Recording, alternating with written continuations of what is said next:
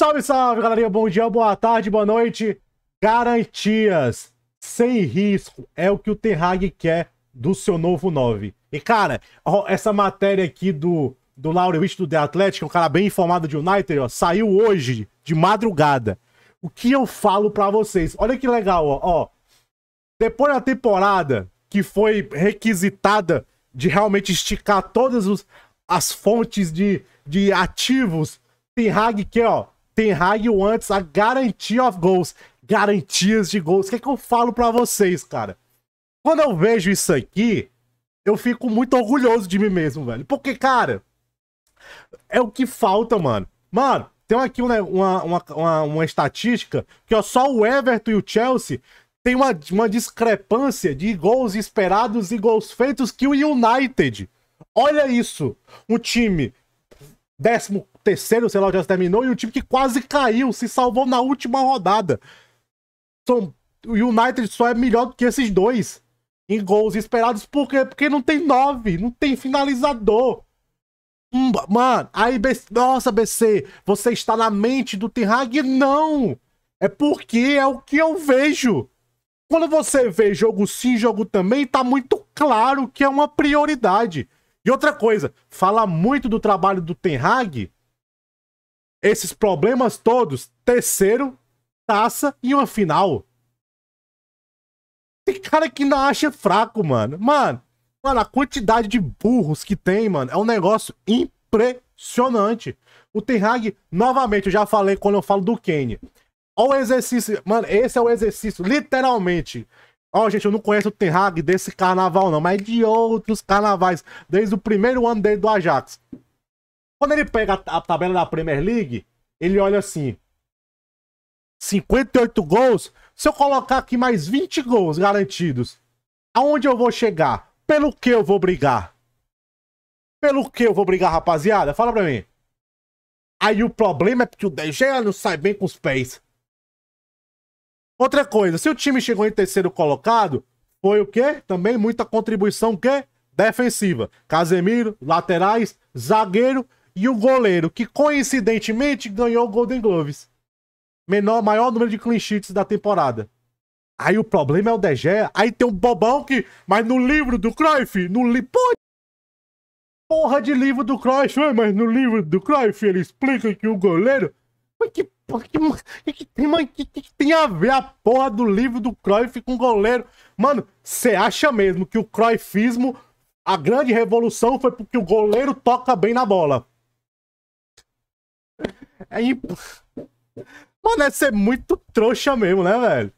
Caralho, mano. Veja bem, BC. No livro do Cruyff, explica que o goleiro. Sério mesmo que você. Mano, de verdade, gente, eu só posso estar ficando doido. A temporada inteira do United, os problemas ofensivos e de novo que tinha. Mano, olha isso aqui, olha isso aqui que moral. O Marcial apareceu em 1432 minutos de 5.600 possíveis. 1.400 de 5 de 5.600. 25%. Um centroavante, ok, mas bichado. Frágil, de vidro. Mas veja bem, BC, no livro do Cruyff, o goleiro tem que sair com a bola no pé. Outra coisa, o pessoal fica dizendo que eu fico defendendo o De Gea. Não é defender o De Gea, eu já falei, o De Gea não é o goleiro dos sonhos. Por exemplo, se o United tivesse um meio campo qualificado, dois noves bons. Eu estaria aqui falando, contrato Onana, gasta no Onana, fecha com Onana. Mas não é a prioridade, cara. Não é o ponto focal. É um 9, é o meio campo. O que o Ten Hag quer? O que o Ten Hag quer? Garan gols garantidos. Por que vocês acham que ele tinha um tesão no Kane? Um tesão no Simen? Gols garantidos. Mas veja bem, BC. No livro do Cruyff, o goleiro tem que sair com a bola porra de livro. Pega a porra do livro do Cruyff e enfia onde o sol não, não pega, velho. Mano, os argumentos do livro. Mano, você jogou bola. Você sabe o que é bola? Você vê bola. No livro do Cruyff. Porra, pega o livro do Cruyff e limpa a bunda, velho. Tem a ver. Entendeu? Cara, literalmente. Gente, ó, United não tem 300 milhões de libras para gastar aí à vontade, não. É uma questão de prioridades. Aí, também, no livro do cara. Porra, de livro do. Mano, é um. Nossa, velho, esse argumento do livro do Clive me tiltou. Aí, ó.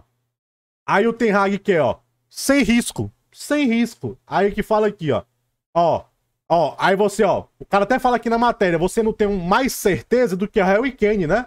Aí aqui fala que o United testou o, a, o Tottenham, aí viu que realmente o Daniel Levy não vai negociar.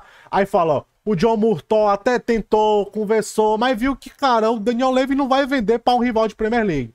Aqui fala, ó, que o, que o United espera, pelo menos espera que o Kane pelo menos fique mais um ano no Tottenham. Aí sim, tentar ele de graça, né? Bem mais possível, né? Aí, ó, o United espera que o Kane, né, não vá para lugar nenhum, porque tem interesse do Real Madrid, do Bayern de Munique, do PSG, mas a preferência do Kane é ficar na Inglaterra, né? Até agora. Até o Chelsea tentou ele, mas viu que não dava. Ah, o Mbappé, fala aqui, ó. Que fontes ligadas ao United PSG descartaram o Mbappé. Não dá, né, mano? Tem que fazer tanta coisa pro Mbappé. Aí fala, aí o United vai para alternativas. Ramos Hoyland. Cara, parece que os empresários do Hoyland se encontraram com a Atalanta e falou que o preço é 100 milhões de euros. Mano, tem que mandar prender esse pessoal da Atalanta. Aí fala, ó, depois, ó, 47, lembra, ó, 47 foi o preço que se acha justo. Lembra que eu falei lá do 45 mais bônus? Viu como? Mano, tá infla... Mano, olha como tá inflacionado. O moleque que o Chelsea tá contratando aí, o Nicholas Jackson, o maluco fez oito jogos bons. 35 milhões de euros. Oito jogos bons, 35 milhões de euros. Multa ainda, multa. Não fez metade que o Holland fez. O Holland fez gol numa temporada, ou na seleção, papapá. Te... Pareceu ter muito mais potencial. 35. Você vê como o mercado tá? Aí que fala que o Royland tá muito interessado no movimento, quer ir, né? Existe. Isso aqui me preocupa.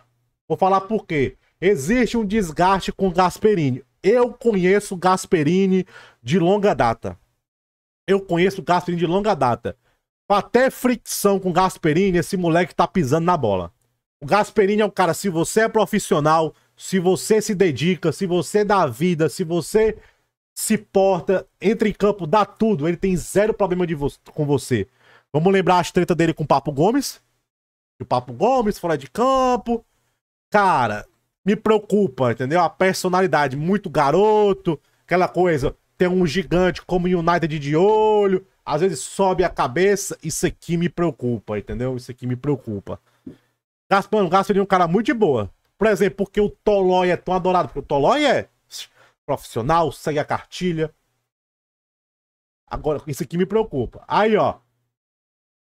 Outra coisa que fala, ó, uh, quando se fala de certeza, que fala, ó, existe uma piscina de jogadores muito pequenas que é, preenche o requisito do Ten Hag. Aí você fala, tem o Simen, caro demais, Colomuani, Gonçalo Ramos, três atacantes caros que ainda vai ter que se adaptar à Premier League.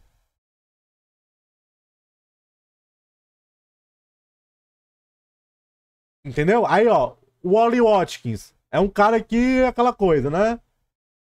pode ser que surja. O Watkins é um cara que, que fez 14, 11, 15 gols na, nas três temporadas da Premier League, né? E está sendo assistido pelo United. Mano, o Watkins. É. É uma boa. É uma boa.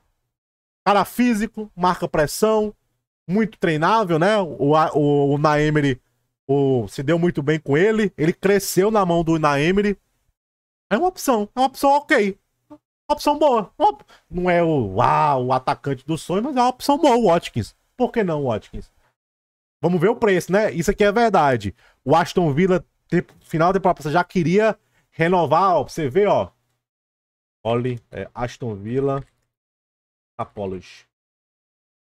Ele tá nos salários medianos ali, eu acho. Ó, ó, ó, ó. Você vê, ó. O dinheiro, mano, ganha mais que o Watkins, mano. Então, realmente, o Aston Villa tá conversando com ele para valorizar ele, entendeu?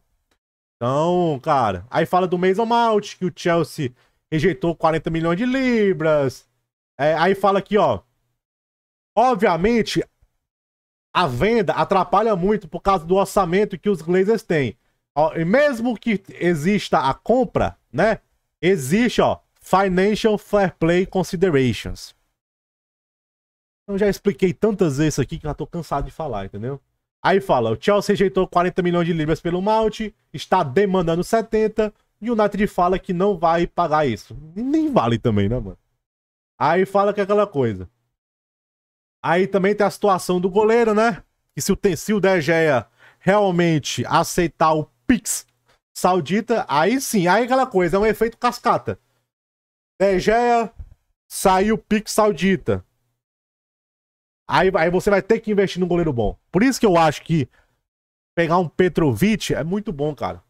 Tô vendo o pessoal falando aí de Bento, é, Lucas Perry. Mano. Mano, se o cara pelo menos cita o Everton no Palmeiras, até beleza. Mas, porra. Bento, mano. Jesus amado, mano. Que mundo vocês viram. Enfim, tamo junto, é nóis. Valeu. Falou.